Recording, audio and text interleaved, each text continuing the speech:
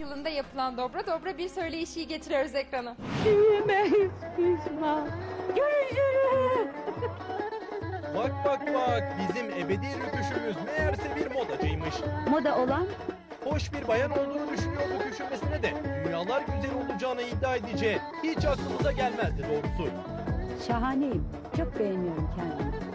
Ve biz onu yıldız olarak bilirdik. Oysa bir başka adı daha varmış. Devlet sırrı gibi aylardır sakladı. Yıldız Yadigar. Yıldız Tilbe ile sohbetimiz için seçilen mekan açık hava. Üstünde bir ceket var. Üşüyor mu yoksa moda mı bu ceket? Çünkü soğuk.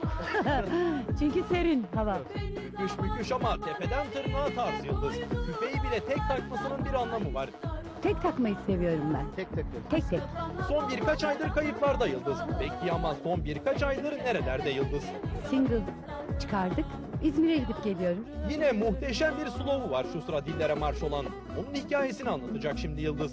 Değerini bilmek gerekir aşkın Ah,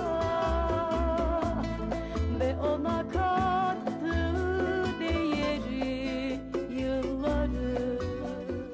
Yaşanmış o kadar çok şey var ki daha unutulamamış. Aşk acıları benim besin kaynağım diyen Yıldız Tilbe ardından da henüz piyasaya çıkmayan sürpriz bir popçuya vereceği şarkıyı okuyor canlı canlı. Ben bir şarkıyım, söz müzik sensin, tabi söyleneceğim. Yağmurum, rüzgarım, aşkın kara kızıyım, tabi sevileceğim.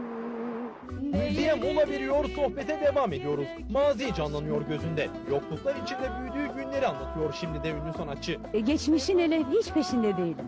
Geçmişte şunu yaşayamadım, bunu yapamadım. Çocukluğumu yaşayamadım. Bazı şeylerin hesabı olmuyor yani.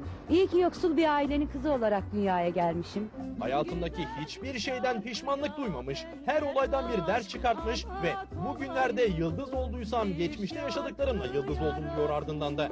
İyi ki altı kardeşin en küçüğü olarak doğup büyümüşüm. İyi ki bir evlilik yapmışım, iyi ki bir kızım var, iyi ki şarkıcı olmuşum. Değerini bilmek gerekir aşkın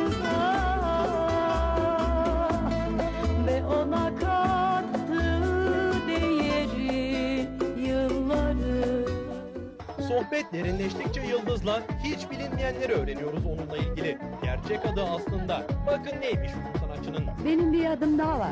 Nedir? Yadigar. Yadigar. Öyle mi? Yıldız Yadigar. Yadigar Hanım şimdi yeniden İzmir günlerine dönüyor. Orada büyüdüm, orada yıldız oldum. Yarın öbür gün yine oralara dönüp oralarda yaşayacağım diyerek çiftlik evini anlatıyor. Çiftliğinde inekleri varmış Yıldız'ın. Adlarını sayıyor. Birkaç tane ineğim var. İneğin ismi neydi?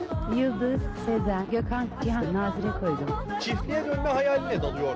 Bugün bıraksam sonsuza dek beni idare edecek malım var ama kafa olarak hazır değilim henüz diyerek devam ediyor. Şu an işi bıraksam evim var, arabam da var. Basit bir iş kurup aslında kendi hayatımı sıradanlaştırabilirim. Normal hale getirebilirim. Kendi ruh sağlığım için işimi yapmalıyım. Bir insanın kendisiyle barışık olması kadar güzel bir şey var mı? Aynaya baktığınızda kendinizi nasıl buluyorsunuz sorumuza bakın ne yanıt veriyor Yıldız. Şahaneyim. Çok beğeniyorum kendimi. Ben mutluyum böyle. Şahaneyim böyle ben.